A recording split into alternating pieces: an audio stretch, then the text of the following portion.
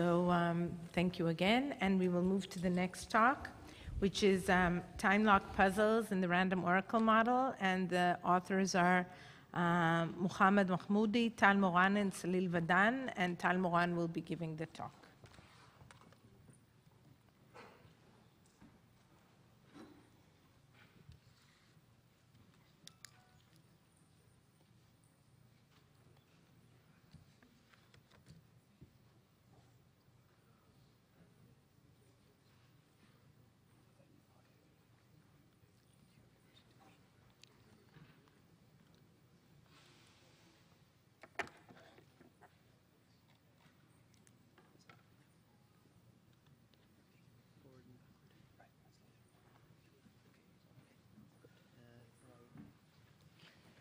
Okay, hi.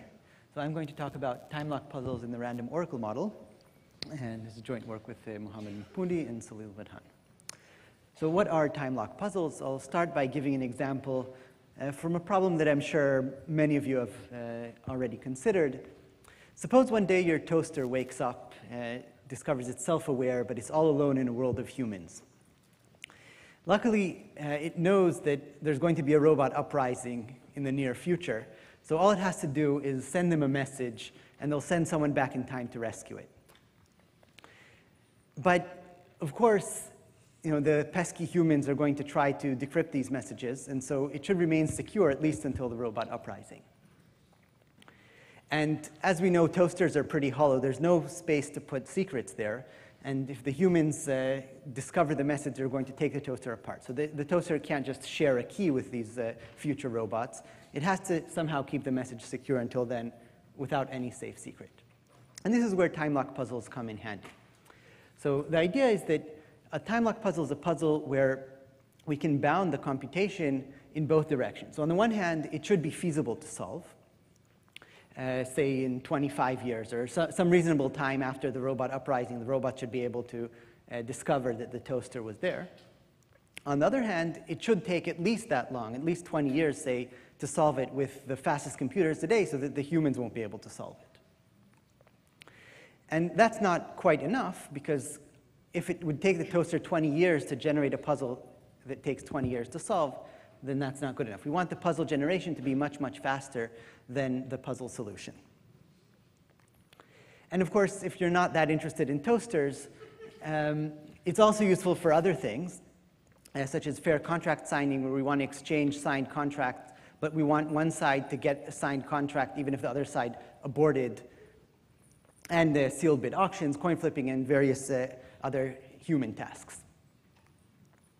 So when you think about time lock puzzles, at least I, the first thing I think about is, okay, th this sounds like a one-way function, right? We'll give somebody a one-way function, and the puzzle will be to invert it. We know that it's easy to generate this uh, puzzle by running the function, and it's hard to invert.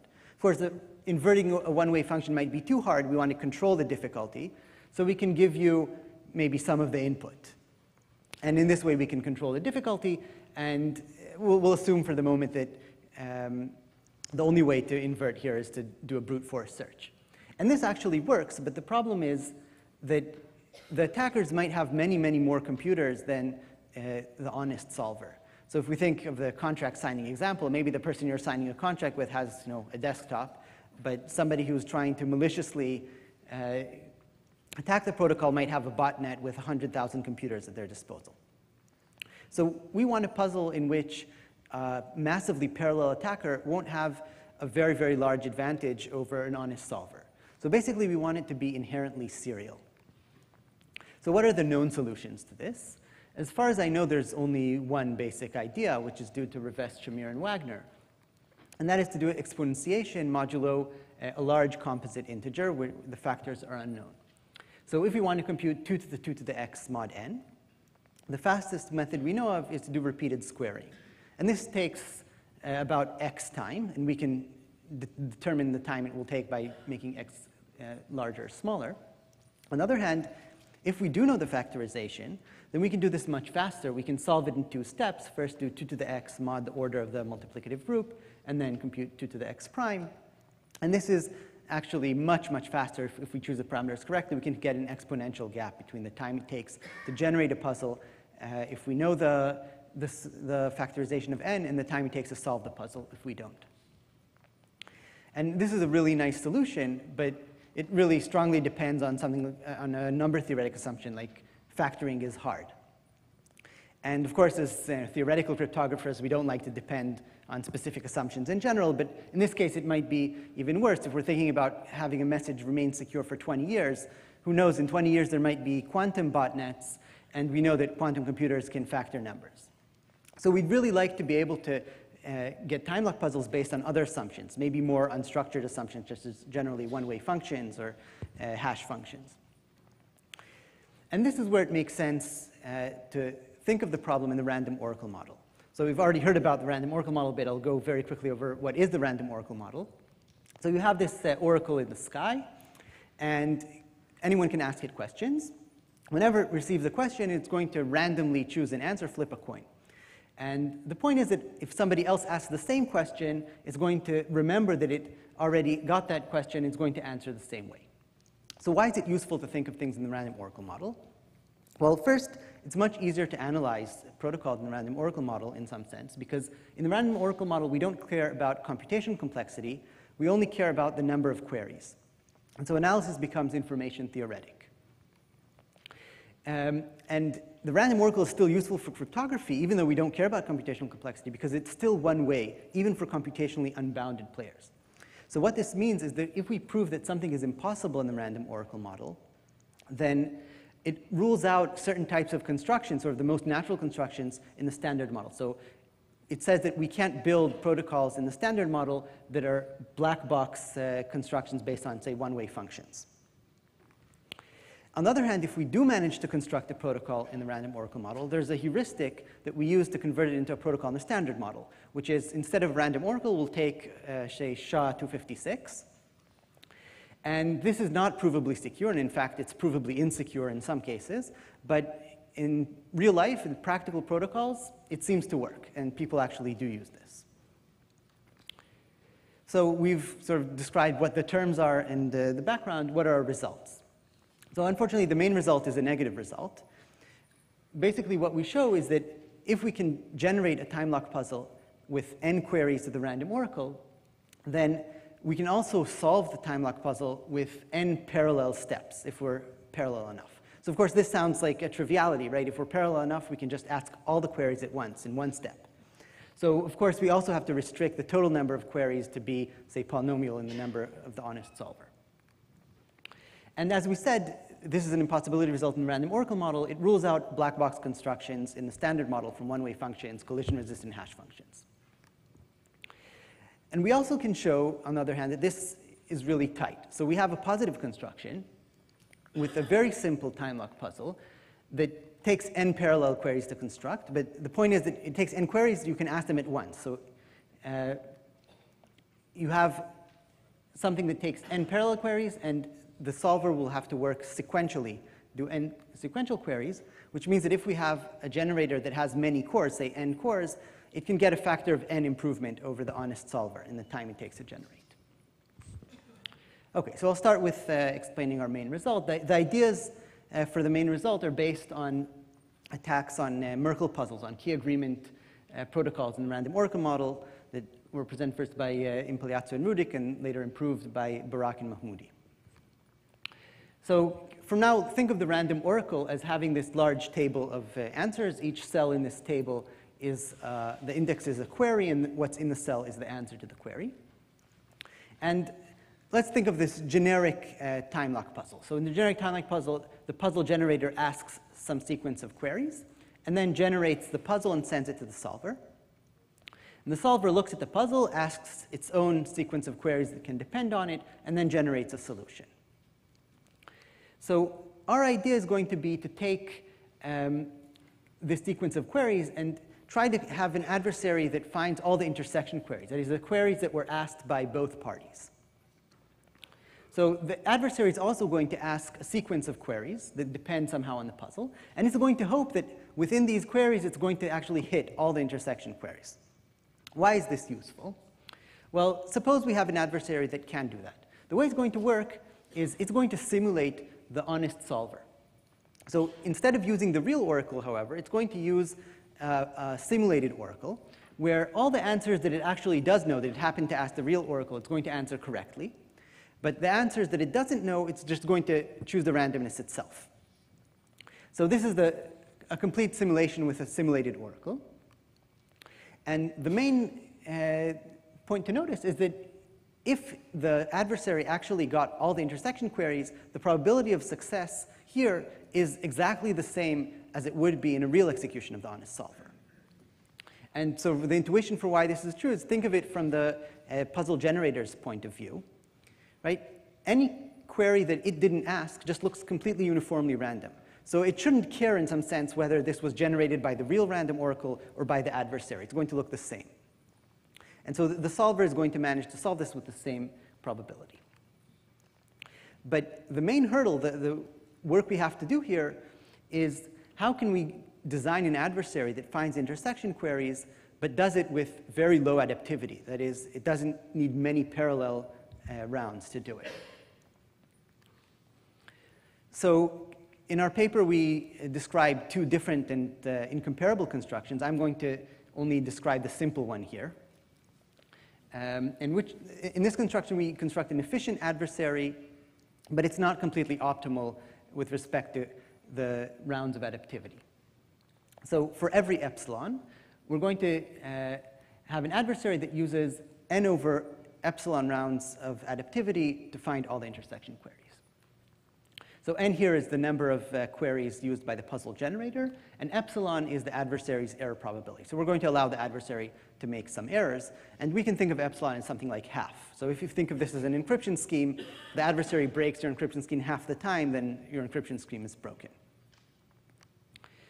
So the point is it, it uses this many rounds of queries, but all the queries in each round are going to be asked in parallel. So the total parallel time, if it has enough processors, is going to be n over epsilon. So what does it do in every round?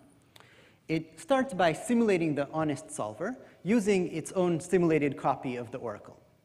So in the beginning, it knows nothing, so it's going to answer all queries randomly.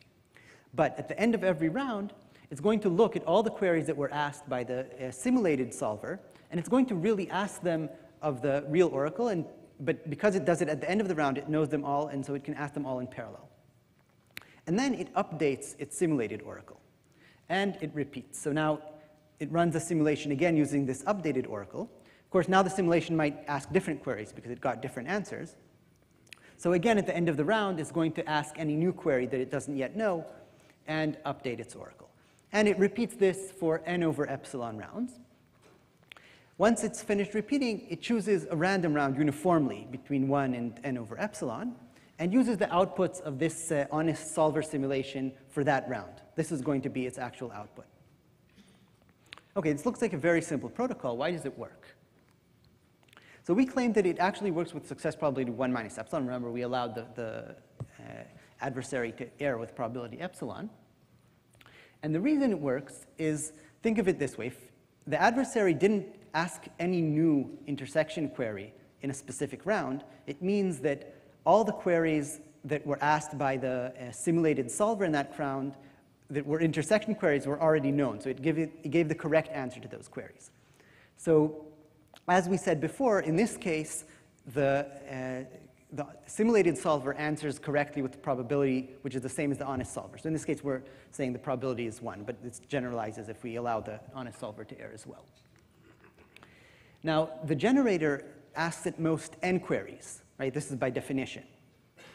And so there can be at most n rounds uh, in which the adversary is going to ask a new intersection query. Of course, the adversary doesn't know which rounds it's asking intersection queries in.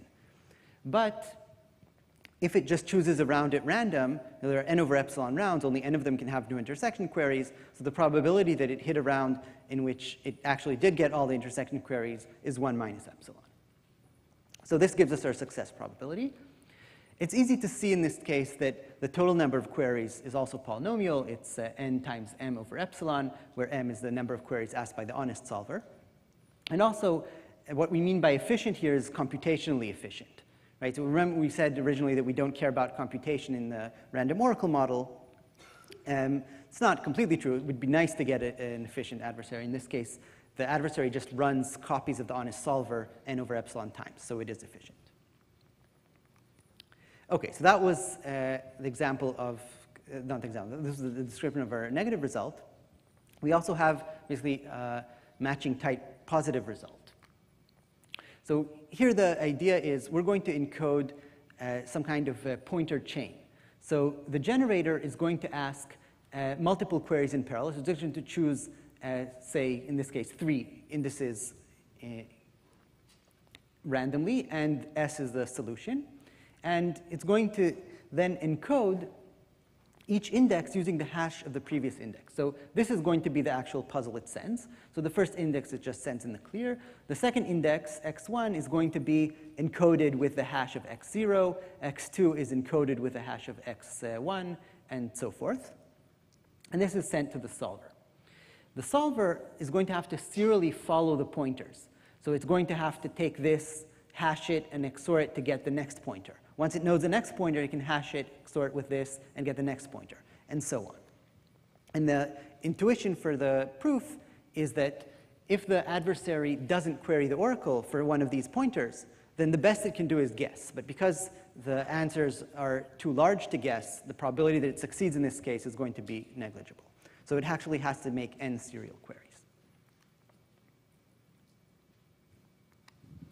Okay. So what didn't I talk about? Um, so as I said, in the paper we have uh, two constructions for adversaries that find intersection queries. And the, what I described was a, a simple one. The, the, the, second one, I think, is the technically more interesting one, but it's a little bit uh, too complex to give in a 20-minute talk. And here the idea is that we basically try to learn the queries that are most likely to be intersection queries, and we have this new learning algorithm that uh, is optimized to do it with a low adaptivity rather than just optimizing the total number of queries. We also have uh, an interesting corollary of our result, which is if we look at uh, key agreement protocols in general, they may be multi-round protocols, it turns out that these are also uh, breakable just in a linear number of uh, uh, parallel rounds. And the reason is you can look at a multi-round key generation protocol as uh, a puzzle generation. The whole protocol itself, you can see the transcript as a puzzle. And then in this case, we can use our result to basically break this puzzle uh, using uh, n parallel rounds. Another interesting thing, uh, this is uh, not in our paper, is our negative result uh, uses the fact that the verifier for the solution doesn't have to query the random oracle. So what we don't rule out is proofs of work, where the puzzle generator can verify the solution, but not solve the solution itself. So remember, we thought of time lock puzzles as encrypting a message into the future where the generator actually knows what the message is. If all we want to do is prove that you worked some time, we don't need to know that in advance. And this isn't ruled out. And in fact, we do have uh, constructions that are efficient for uh, doing proofs of work in the random oracle model. So this is still work in progress. And of course, there are uh, still open questions. Um, the most natural question is, are there other time lock constructions uh, in the, random, in the standard model, not in the random oracle model, based on other assumptions uh, than RSA? And the uh, second thing is if we ask about quantum computation. So we said one of our motivations was quantum computers can uh, break RSA. Can we do anything that is secure against quantum computers? And it's even interesting to ask whether there's anything we can do if we allow the honest parties to use uh, quantum computers. And the, the, questions are completely open on both sides still. And if you're interested in that question, you might want to wake up early on Wednesday. Um, there's a related talk.